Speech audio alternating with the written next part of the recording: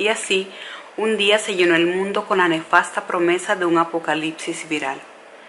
Y de pronto las fronteras que se defendieron con guerras se quebraron con gotitas de saliva. Hubo equidad en el contagio que se repartía igual para ricos y pobres.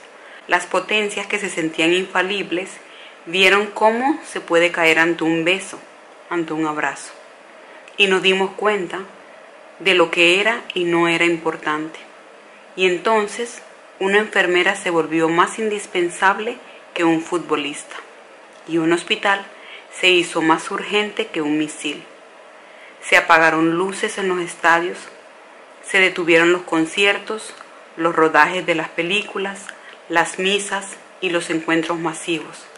Y entonces en el mundo hubo tiempo para la reflexión a solas, y para esperar en casa que lleguen todos, y para reunirse frente a fogatas, mesas, mecedoras, hamacas y contar cuentos que estuvieron a punto de ser olvidados. Tres gotitas de mocos en el aire. Nos han puesto a cuidar ancianos, a valorar la ciencia por encima de la economía. Nos ha dicho que no solo los indigentes traen pestes, que nuestra pirámide de valores estaba invertida, que la vida siempre fue primero y que las otras cosas eran accesorios. No hay un lugar seguro. En la mente de todos nos caben todos. Y empezamos a desearle el bien al vecino. Necesitamos que se mantenga seguro. Necesitamos que no se enferme, que viva mucho, que sea feliz.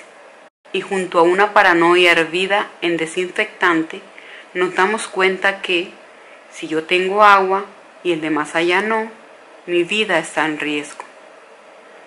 Volvimos a ser aldea. La solidaridad se tiñe de miedo y a riesgo de perdernos en el aislamiento.